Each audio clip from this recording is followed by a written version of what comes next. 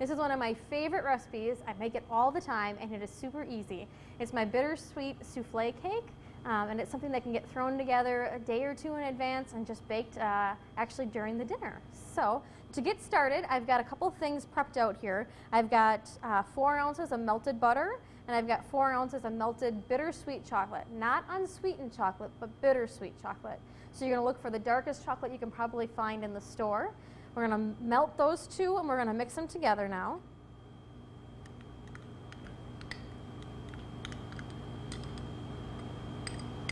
This recipe would work for a milk chocolate if you're um, not into as much dark, dark, intense chocolate flavor.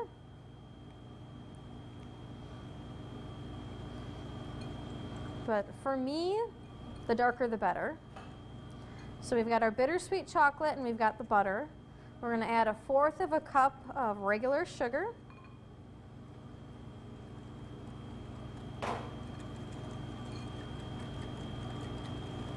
And then we have two whole eggs that are going to go ahead and get added to this.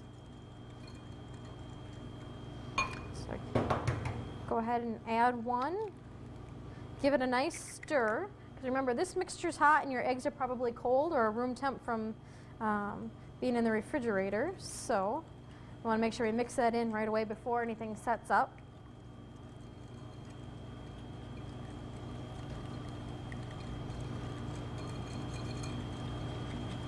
All right, I add that last egg. And those are all the ingredients to my uh, bittersweet souffle cake. Really simple, just some really good quality product. The chocolate goes in here, the unsalted butter. You can definitely add some raspberry preserves in here, or if you want to put a little chili pepper in it to give it a little spice. Um, it's a very uh, flexible recipe. But you do want to make sure you get it mixed together really well.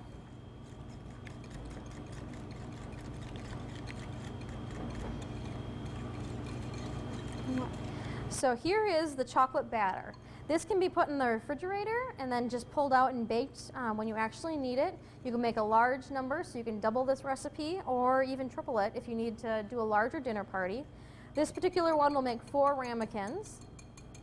And the ramekins I use are an 8 ounce ramekin and I just spray them with a little pan spray. And I'm going to take my chocolate mixture and fill the ramekins about 3 fourths of the way full to almost full.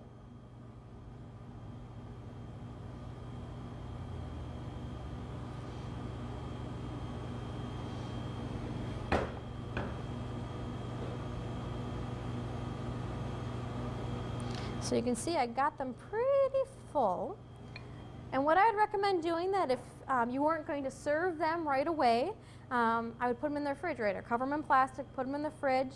Um, they can even freeze if you try that as well. Um, but pull them out, um, and when they're cold, um, you can go ahead and put them straight into the oven, or you can put them straight into the oven just as this. Uh, 375 degrees, and they take about 15 minutes or so.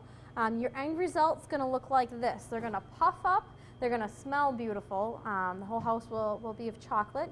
Um, you want to carefully pull them out, set them on a little plate, and serve them. You can have a scoop of ice cream, whipped cream, or just as is. Um, the center will be a little soft um, and a little spoon, and they'll be delightful.